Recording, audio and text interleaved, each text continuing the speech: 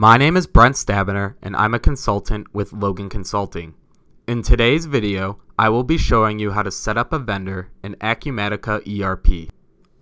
The structure and format of vendor IDs is defined by the vendor segmented key. That is, the system allows users to create a vendor record only if its ID matches the vendor segmented key. By default, this segmented key consists of a single segment of 10 symbols.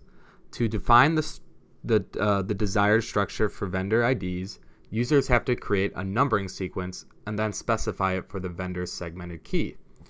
So first, let's create the numbering sequence uh, on the numbering sequences form. So we go to configuration, common settings, common settings again, numbering sequences. So here I have pulled up the vendor numbering vendor num uh, numbering ID. Uh, you can create your own or edit the existing.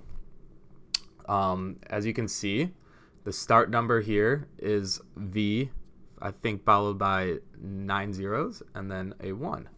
Um, can do maybe V00001 or you can do VEN001. All depends on how many vendors you expect to have.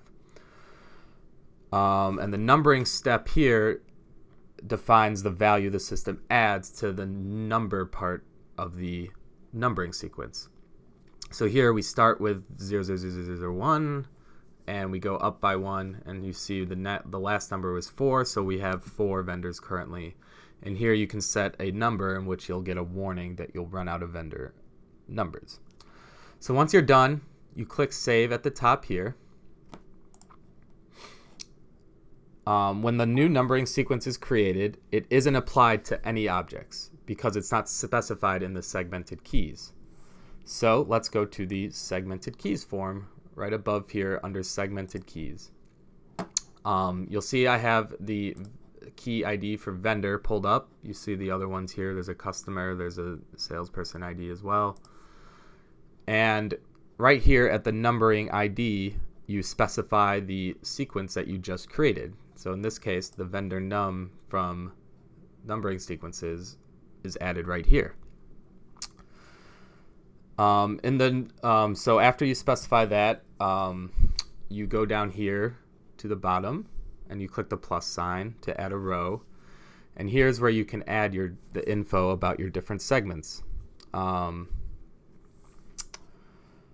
so here we can select the auto number checkbox to uh, automatically increment uh, as we create new vendors. Um, the length of the numbering sequence right here. Um, must be equal to the segment length. length. So then go back to numbering ID here, or numbering sequences. You'll see it'll you'll enter in a specific number of uh, characters, and in this case it's 10 here. If we go back here, it's also 10 here. So those two numbers have to match. The edit mask um, you, for Unicode, that means you can use numbers um, letters, symbols, special characters like the percent sign or the ampersand. And here, case conversion, uh, uppercase will convert all lowercase letters to uppercase. Um, and we do not need validation um, because we are auto numbering. So once you have set that up, you are ready to add new vendors. For more information, please visit our website at www.loganconsulting.com or contact us via email at info at loganconsulting.com or via phone at 312 345 8800.